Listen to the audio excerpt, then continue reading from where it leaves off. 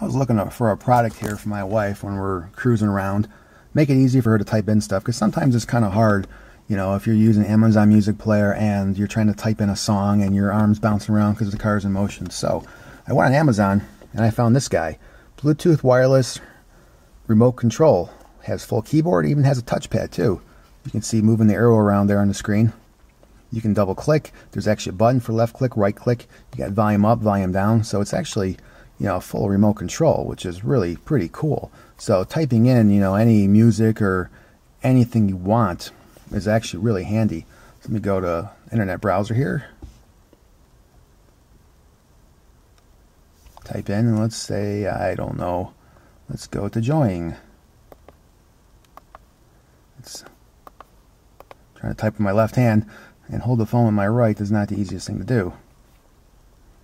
But yeah, it works great and it seems like it's actually working better than usual because normally it's an Android thing. When you activate a hardware piece like this, it actually turns off your on-screen keyboard. So I actually have this hooked up to a USB hub because these Joying radios do accept a USB hub, and my hub has push buttons for each port. So the little Bluetooth module dongle is plugged into one port, and if I won't be using this for a while, I'll actually turn that port off because sometimes it will disable your on-screen keyboard. I don't know why. I think it's just again an Android system thing. Let me uh, show you how to go in if that does happen. It's pretty quick. You just go in the settings.